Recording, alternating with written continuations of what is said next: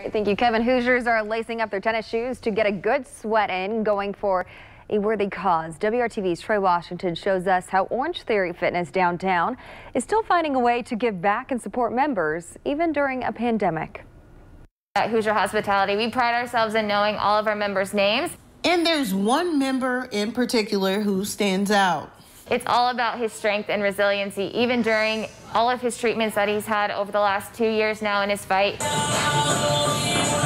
Scott Pratt is the reason classes will be full this weekend for special sessions. Pratt is participating in clinical treatment research right now, but even after being diagnosed with cancer, he hasn't let much keep him away from the studio.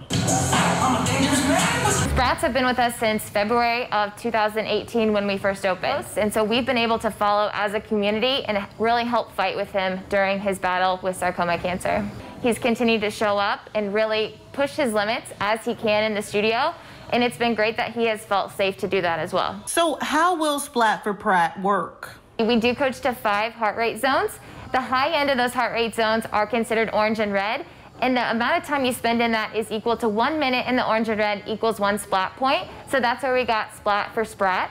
Obviously burning in here as a team to build awareness for sarcoma cancer. And even though there is a fee to get in on the workout, this isn't about helping the Pratts by paying their medical bills.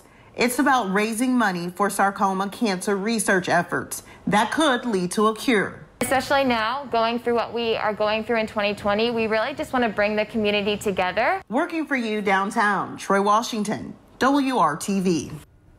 And we've got all the details on how you too can take part in this effort when you read this story on WRTV.com. Chris.